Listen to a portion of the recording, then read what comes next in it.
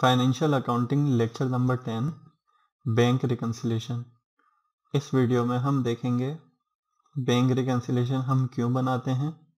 Cash book and passbook understanding हमारे cash book में bank का बैलेंस और बैंक स्टेटमेंट के बैलेंसेस में क्यों फ़र्क आता है? बैंक रिकन्सिलेशन बनाने की गाइड शीट और फिर हम गाइड शीट की मदद से बनाएँगे बैंक रिकन्सिलेशन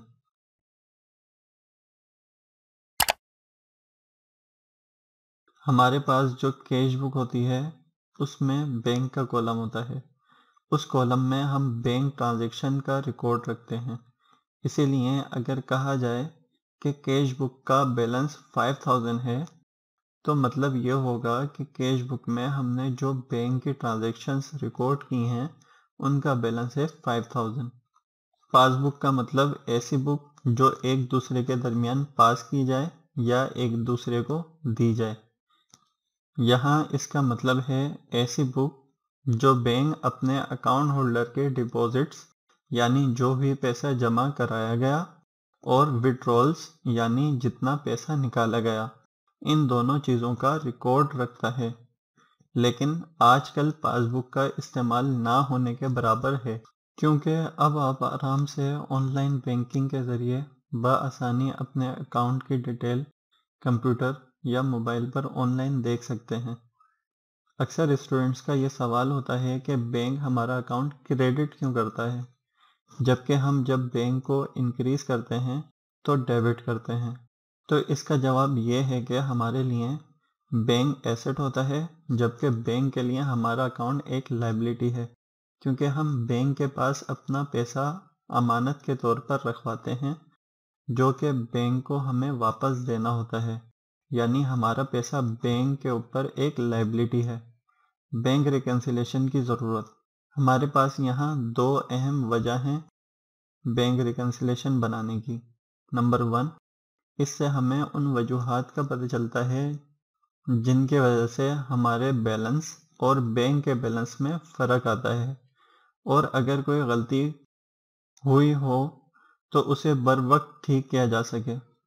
नंबर टू इससे हमें पता चलता है कि किसी कस्टमर का चेक बाउंस तो नहीं हुआ, या कोई चेक चोरी तो नहीं हुआ, या कंपनी में कोई फ्रॉड तो नहीं हो रहा।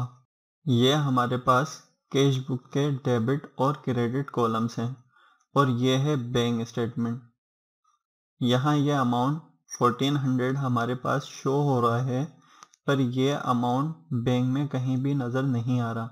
इसका मतलब ये है कि हमने जब बैंक में एस सिन का चेक डिपॉजिट करवाने भेजा तो अपने पास रिकॉर्ड कर लिया था। पर यह चेक बैंक वालों ने हमारे अकाउंट में क्रेडिट नहीं किया। इसी तरह यह 100 डॉलर का चेक हमने एम टेंग को इशू किया था। पर अब तक बैंक में प्रेजेंट नहीं किया गया कैश निकालने के लिए। बैंक स्टेटमेंट में भी यहाँ दो एंट्रीज ऐसी हैं जो हमारी नॉलेज में नहीं हैं। सर्विस चार्जेस और रेंट की ऑटो पेमेंट। यह बात हमें तभी पता चलेगी जब हम बैंक रिकन्सिलेशन बनाएँगे। तो हम इन वजूहत को दो कैटेगरीज में ले सकते हैं। Number one time difference number two information difference जैसा कि अभी हमने देखा था कि हम तो जैसे ही चेक बैंक भेजते हैं, अपने पास नोट कर लेते हैं। पर बैंक कभी कभी उसे रिकॉर्ड करने के लिए थोड़ा वक्त लेता है। इंफॉर्मेशन डिफरेंस इसमें direct deposits payments charges interest या एरर्स हो सकते हैं। अब हम देखेंगे बैंक रिकन्सिलेशन की गाइड शीट जिसकी मदद से आप बसानी बैंक रिकन्सिलेशन बना सकते हैं। आपको कोई चीज़ याद करने की ज़रूरत नहीं, बस इस शीट की मदद से क्वेश्चन की प्रैक्टिस करें। आपका जब कॉन्सेप्ट क्लियर हो जाएगा तो फिर इस गाइड शीट की भी ज़रूरत नहीं होगी। इस शीट में बैंक स्टेटमेंट यानी पासबुक के हवाले से दिया गया है। जो चीज़ें आपको पासबुक में ऐड या लेस करनी है। यहाँ ये तमाम वजूहत चेक की देर से डिपॉजिट की हैं। जब आपने चेक इशू किया था तो अपने पास लिख लिया था, पर बैंक ने अब तक आपका अकाउंट क्रेडिट नहीं किया।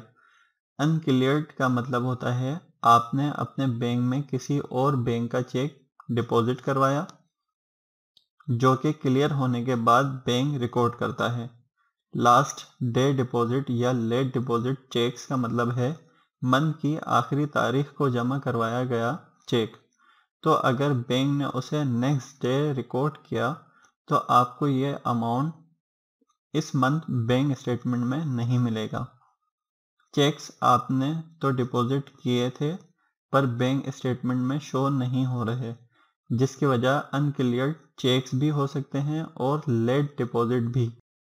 डिपॉजिट इन ट्रांजिट का मतलब होता है कि डिपॉजिट अभी रास्ते में है, और बैंक रिकन्सिलेशन में मतलब होता है कि अभी बैंक ने इसे रिकॉर्ड नहीं किया, और सबसे आखिर में है एरर्स जिनकी वजह से बैंक बैलेंस में कमी हो गई हो। तो अब हम उतना अमाउंट ऐड कर लेंगे ताकि बैलेंसेस बराबर हो जाएँ। अगर ये वजूहत दी गई हों तो बैंक से अमाउंट लेस होगा। इन तीनों का मतलब सेम है। चेक आपने इशू कर दिया किसी पेमेंट के लिए, पर अब तक बैंक से वो अमाउंट निकाला नहीं गया। अनप्रेजेंटेड का मतलब है कैश निकालने के लिए प्रेजेंट नहीं किया। आउटस्टैंडिंग का मतलब होता है कि अमाउंट अभी अदा करना बाकी है।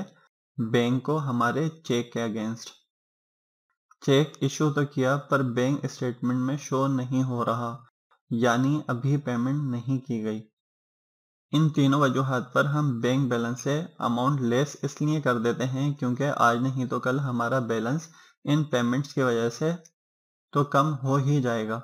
और जब चेक्स इशू किए थे तो हमने अपने पास से भी बैंक को कम कर लिया था। आखिर में है एरर्स जिसकी वजह से बैंक का बैलेंस इंक्रीज हो गया था। इस शीट में कैश बुक के हवाले से रीजंस दी गई हैं, जिनकी वजह से हम कैश बुक से अमाउंट्स को प्लस या माइनस कर देंगे। इन दोनों कॉलम्स में रिसिट्स और पेमेंट्स हैं, जो कि बैंक ने डायरेक्ट वसूल या अदा की हैं। और जिनकी वजह से हमारा अकाउंट का बैलेंस कम या ज़्यादा हुआ। पर हमें पता जब चला, जब हमने बैंक स्टेटमेंट देखी। अब हम इन्हें अपनी कैश बुक में ऐड या लेस कर लेंगे।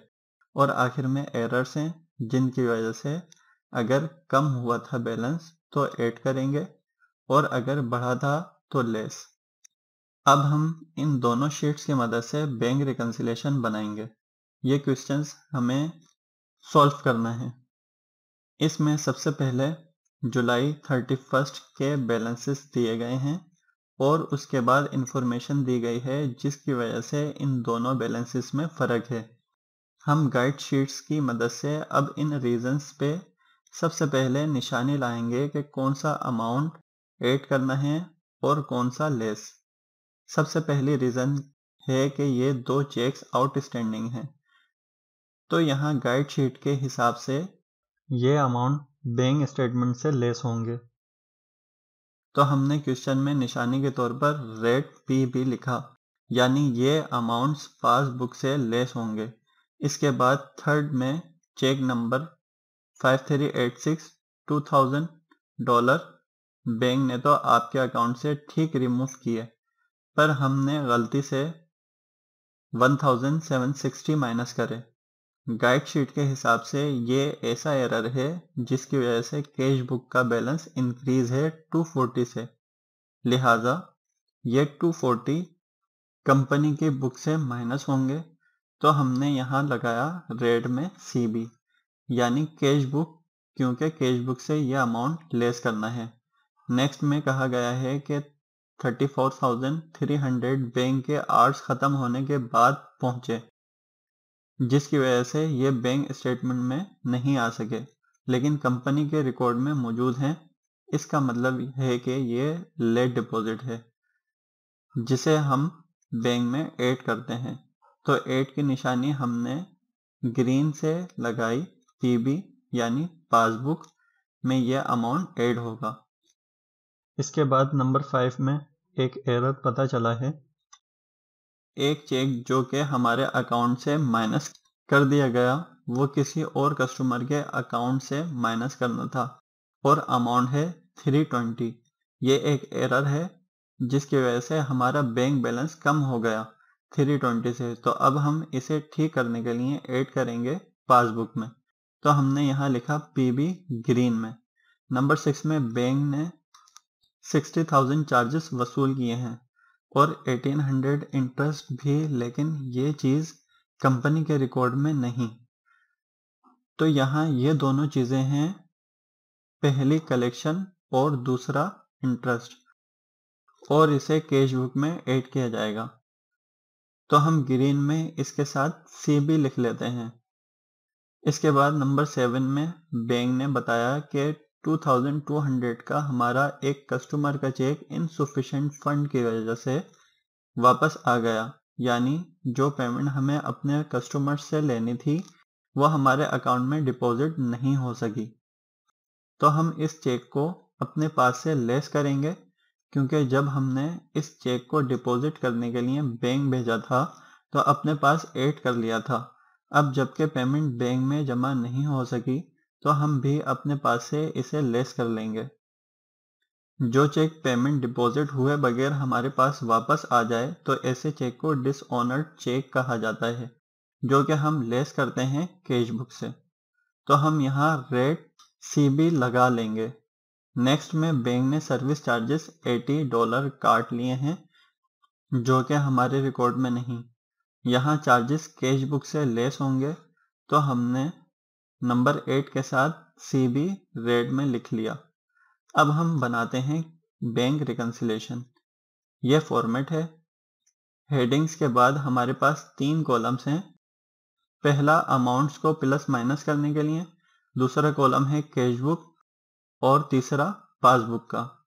सबसे पहले लिखेंगे बैलेंसेस हमारे पास बैलेंस है 32,760 और बैंक स्टेटमेंट में बैलेंस है सेवेंटी सेवन थाउज़ेंड फोर्टी तो ये इस तरह सबसे पहले आए।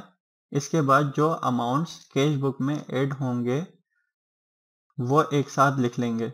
यहाँ कैश बुक में सिक्सटी थाउज़ेंड और एटीन हंड्रेड ऐड हो रहे हैं। तो ये इस तरह आए और इनका टोटल हमने कैश बुक के कॉलम में लिख लिया। इसके बाद कैश बुक से लेस हो रहा है 240 2200 और 80 तो यहाँ ये तीनों अमाउंट्स इस तरह आए और इन तीनों का टोटल हमने कैश बुक के कॉलम में लिख लिया। इसके बाद जो अमाउंट पासबुक में ऐड हो रहे हैं वो लिखेंगे। पी बी ग्रीन में लिखा है 34,300 और 320 के साथ। तो ये आए इस तरह और इनका टोटल हमने पासबुक के कॉलम में लिखा। इसके बाद ये दो अमाउंट पासबुक में से लेस किए जाएँगे। तो हमने इस तरह लिखा इन दोनों अमाउंट्स को इनके चेक नंबर के साथ और इनका टोटल हमने पासबुक के कॉलम में लिख लिया। और जब इन कॉलम्स का टोटल करेंगे तो दोनों तरफ़ आएगा 92,040 जिसका मतलब है बैंक रिकन्सिलेशन बिल्कुल ठीक बनी है। अब हम देखते हैं जर्नल एंट्रीज जर्नल एंट्रीज में हम सिर्फ़ उन चीज़ों को रिकॉर्ड करते हैं जो हमारी कैश बुक में ऐड या लेस हुई हैं। पासबुक वाली चीज़ें बैंक खुद देख लेगा। तो हमने बैंक को डेबिट किया उन अमाउंट से जो हमने ऐड किए थे और उन अमाउंट से बैंक को क्रेडिट किया जो हमने लेस किए थे। यहाँ यह टॉपिक हुआ ख़त्म। नेक्स्ट वीडियो तक के लिए गुड बाय।